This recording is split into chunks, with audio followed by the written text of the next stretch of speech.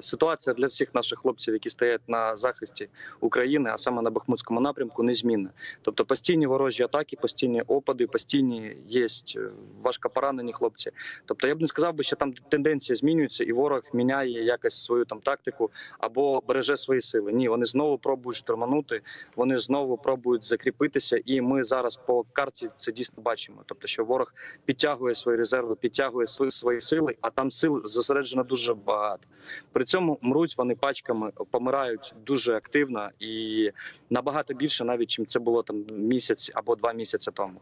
При тому е, при цьому вся ця інформаційна війна того ж Пригожина і дійсно інфрапост простір готується до того, що вони їм доведеться здати свої позиції, так як зараз гвардії наступу, всі гвардії наступу активно готуються. Тобто, всі бригади, які задіяні в наступальних діях, е, займаються підготовкою для того, щоб зробити саме можливо навіть на цьому напрямку прекрасні контрнаступальні дії та відвоювати максимальну кількість наших, а, наших земель.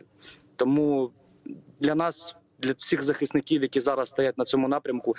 Теоретично нічого не змінюється, постійні опади продовжуються, але очікуємо на те, що зараз підійде підкріплення з важкою технікою, з важким озброєнням, яке нам надається по ленд-лізу.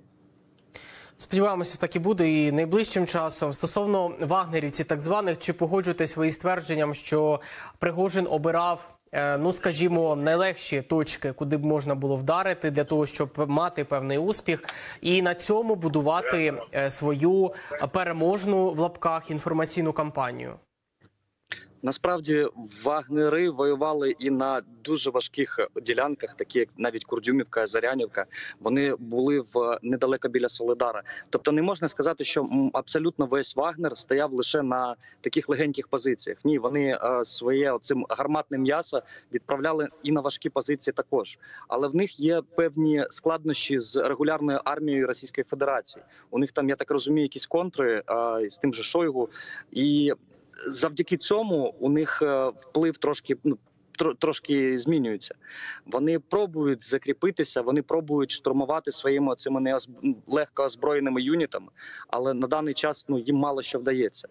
Тому ну мені складно ще сказати про Вагнер. Там є круті бійці, які пройшли, знаєте, дуже дуже гарячі місця е, місця і були в багатьох війнах, але все таки більше 80% вже зараз це складає просто мобілізоване м'ясо, гарматне м'ясо, яке не було навчене, яке не проходило важких якихось злагоджень, і це просто там або зеки, або якісь е, хворі люди, яких просто е, знаєте, обіцяли там золоті гори, а насправді відправили в гарячі місця на, на території України. Чи володієте ви інформацією, чи маєте свідчення про те, як ось цей конфлікт між Пригожиним і Шойгу відображається безпосередньо на фронті між вагнерівцями і мобілізованими Міноборони Російської Федерації? На жаль, я б не хотів би стверджувати. Я не експерт от, їх конфлікту. Знаю, що в них є певні проблеми. Знаю, що вони багато офіцерів регулярної армії, а саме ДШВшники, не зовсім гарно відкликаються по з приводу Вагнера. Це я знаю. Які в них там конфлікти? Мені це не важливо, і всім захисникам це не дуже важливо. Наша задача в першу чергу знищити всю падаль, яка прийшла до нас зі зброєю на нашу землю. А там, що в них всередині країни відбувається, це нам тільки на руку. Головне, щоб ми не забували, що всередині країни знаєте, ці суперечки вони до добра не доведуть, і нам треба навпаки згуртовуватися. І я бачу згуртованість багатьох підрозділів і на передній лінії, і ті, хто зараз займаються і злагоджуються в тилу, і це душу гріє.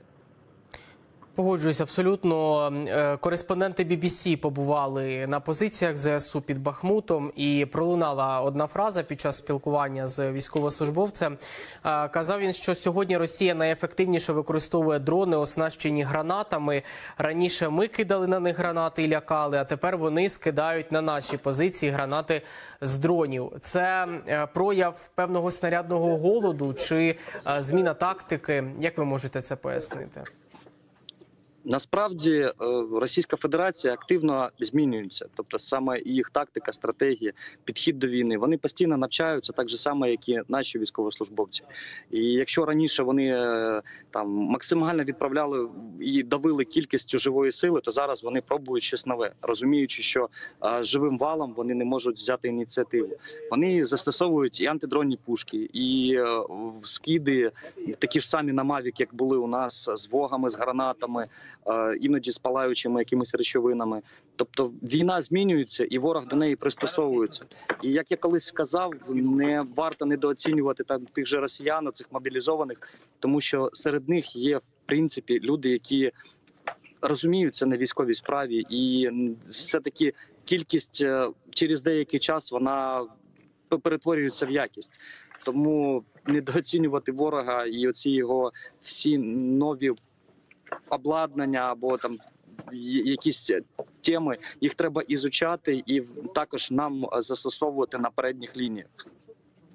Насамкінець уряд е, таки вирішив обов'язково евакуювати а, людей, е, особливо сімей з дітьми із небезпечних ділянок, із прифронтових зон, е, зокрема з часового яру. Чи розв'язує це руки нашим захисникам? Чи легше виконувати свою роботу в умовах, коли е, немає мирних жителів у певних населених пунктах? Звичайно, це е, полегшує життя будь-якого військовослужбовця. А неодноразово, навіть коли ми були в, Сіверському Донці або там біля Горлівки в Зайцево, це саме батальйон Свобода. А ми стикалися з такою ситуацією, що люди похилого віку просто не хотіли виїздити.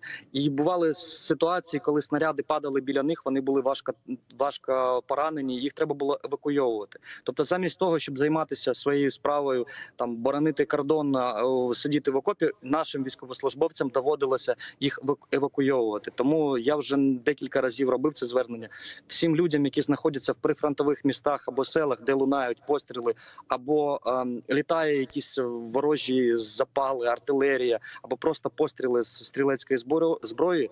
Треба терміново виїздити і не повертатися, поки там не стабілізується ситуація, тому що ви трошки і заважаєте, і ну. І вам це складно, тому що ваше життя воно найцінніше, і треба його берегти, просто берегти.